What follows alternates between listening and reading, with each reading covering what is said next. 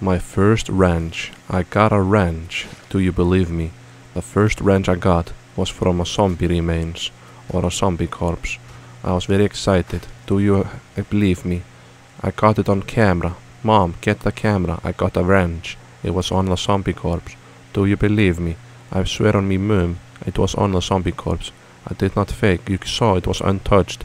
And when I touched it, it was a wrench. I swear on me mum.